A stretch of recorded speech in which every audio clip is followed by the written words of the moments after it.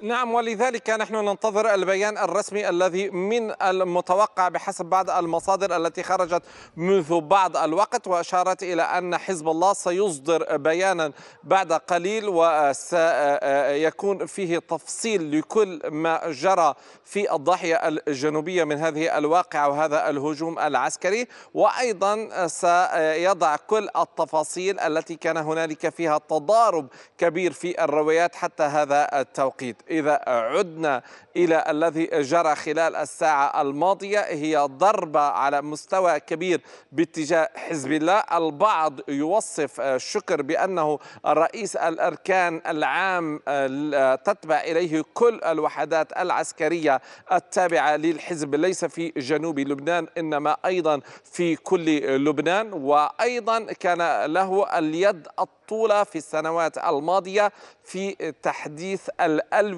والوحدات العسكرية التابعة للحزب وتحديدا في مسألة الصواريخ إن كان صواريخ جو أرض أو أيضا الصواريخ المتوسطة أو الدقيقة أو البعيدة. وأشير إلى أن الإعلام أو أن الرأي العام اللبناني والرأي العام هنا المتخصص وليس من عامة الناس كانت كان قد اطلع منذ السنوات على شخصية فؤاد الشكر الملقب بالحاج محسن من خلال البيانات التي كان يصدرها الجانب الأمريكي من جهة أو أيضا الجانب الإسرائيلي من جهة ثانية والتي كان يشير فيها إلى عمله أو يشير فيها إلى مهمته العملتية على الأرض. ولكن دعيني أذهب إلى هنا إلى الجبهة وتحديدا جبهة الجنوب ماذا يجري فيها؟ كان لافتا إلى أنه مع الساعة الخامسة إلى الساعة